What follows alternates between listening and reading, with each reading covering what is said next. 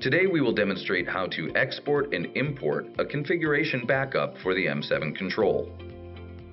Configuration backups can also be used to restore the system from a downed condition. It is recommended that configuration backups happen monthly or if any changes are made to the system. In order to complete this, you will need access to export and import configurations. This is generally given to the maintenance team and higher level material handlers. To log in, select the lock icon at the top of the M7 display. Enter your username and password. Then select the OK button to log in. To export a copy of the configuration, first Insert a USB flash storage device into one of the three ports on the front of the HMI. Second, select the File icon, then select the Export button. This will bring up the export page. By default, the file will be saved in a folder named Export, with the file name m7conf. The file name can be changed by selecting the text field below.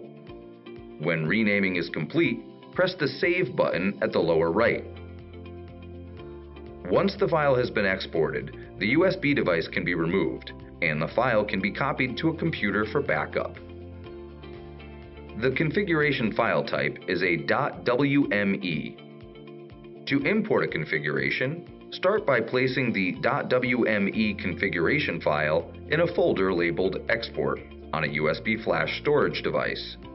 Second, on the HMI, select the File icon. Then select the Import button. This will bring up the import page. By default, the controller will display the contents of the Export folder on the USB device. Third, select the file to be imported. Then select the Import button. The file will be transferred to the line servers.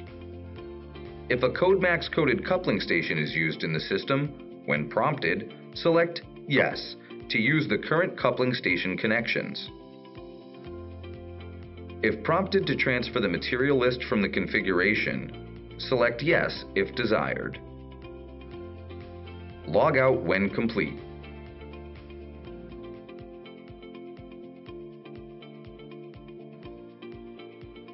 If you have any questions, please feel free to reach out to our Material Handling Service Department at 860 496 9603, extension 168.